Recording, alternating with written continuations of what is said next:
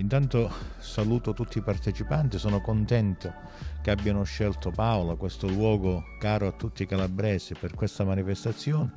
Saluto il presidente della Proloco Paolana, il presidente provinciale, il presidente regionale.